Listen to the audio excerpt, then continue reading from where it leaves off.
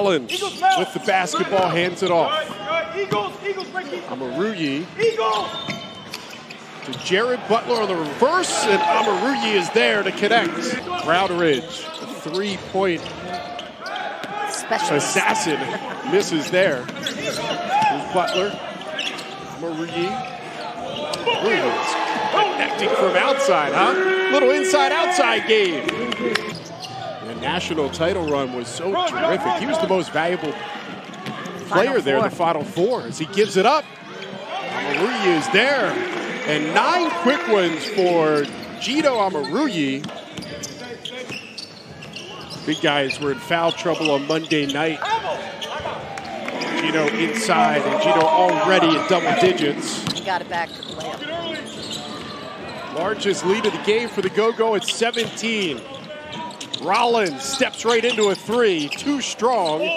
Rebound is good, and Gino Omoruyi now with 13. They were being helped by making so many shots. There weren't many transition opportunities for the Bluecoats. These last two have come off of misses. Butler trying to work the pick, fights off the double. Omoruyi inside, connects.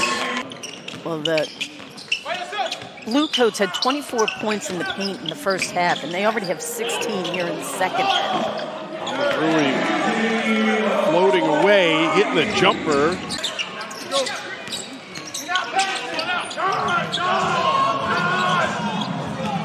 Diallo off a pick. Omoruyi hits a three. Oh, Omoruyi knocks it down. He's got smiles for the fans. And I could hear right behind us a fan said, that is money.